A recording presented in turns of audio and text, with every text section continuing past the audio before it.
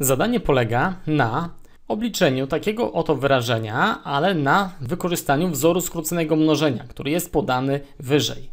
Często uczniowie, zwłaszcza na początku drogi, mają problem w rozpisywaniu, w uzupełnianiu takiego wzoru, więc chciałbym to pokazać na tak zwanych kubkach.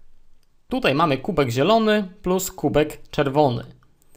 I te dwa kubki symbolizują nam dwa miejsca, na których będzie stał pierwszy element plus drugi element.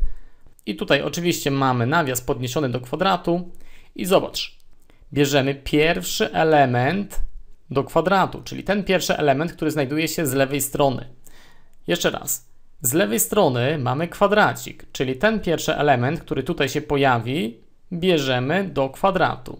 Plus 2 razy, tu u nas też jest 2 razy, i są wymnożone dwa elementy, które znajdują się w nawiasie.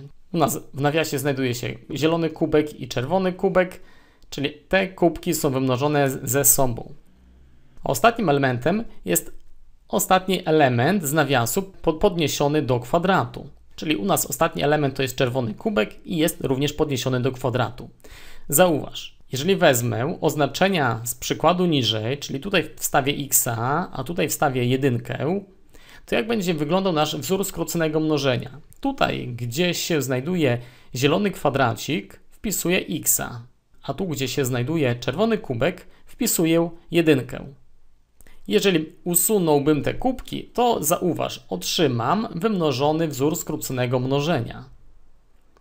x kwadrat przepisuję, 2 razy 1 to 2x, 1 do kwadratu to 1.